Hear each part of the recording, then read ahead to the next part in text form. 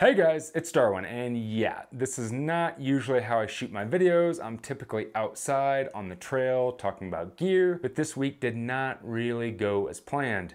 After this weekend, going to AZT Day and talking about the Arizona Trail Film Project.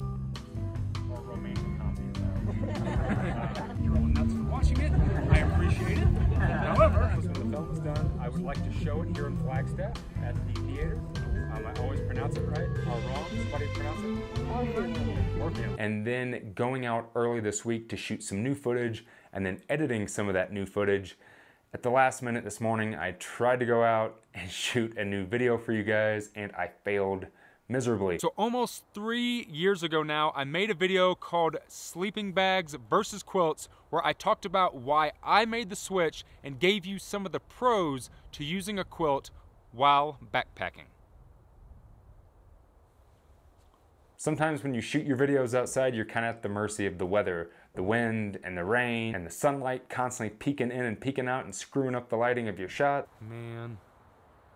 But regardless, I wasn't able to make that video after trying like five times. So I was gonna take this week off, but I figured instead of leaving you guys empty handed, I'd let you kind of get a sneak peek at what I got going on and give you a small taste and preview of some footage from the film. Now this footage isn't finished and it will probably look a little bit different when it's in the film, but I figured I would give you guys something. And you might be asking what is with the room?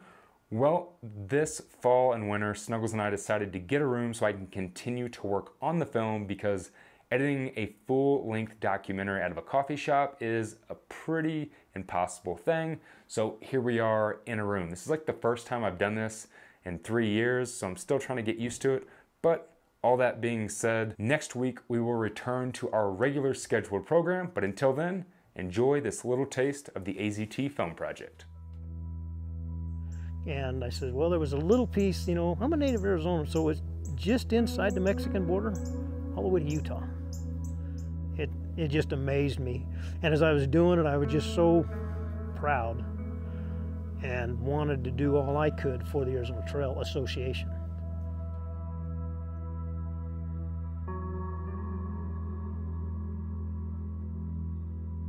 Getting people out into the wild convinces them naturally that this is something worth protecting. It's something worth voting for, it's something worth funding, it's something worth volunteering for, because without wild spaces, like, we don't have a civilization. And so much of our uh, civilization has encroached on wilderness and in wild places. So trails, I think, help remind people what's important by delivering you to this wild place not far from home.